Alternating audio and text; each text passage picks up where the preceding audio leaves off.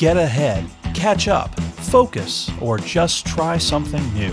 Some of the many reasons to take online summer courses at A&M Commerce.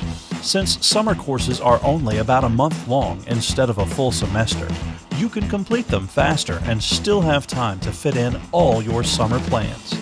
Taking just one or two summer classes every year can help you finish your education early. Focusing on one or two classes sometimes works better. A fall or spring semester full of different subjects can be overwhelming. Summer courses allow you to focus on the classes you enjoy or need to concentrate on. Falling behind? Summer courses can help you catch up on credits. They're also a good way to get into popular classes that fill up fast during the regular semester. Finally, summer courses are a great opportunity to try something outside of your regular curriculum.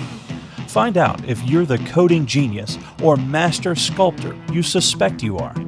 Anywhere, anytime, you can learn online. Ready to sign up? Visit tamuc.edu/summer to get started today.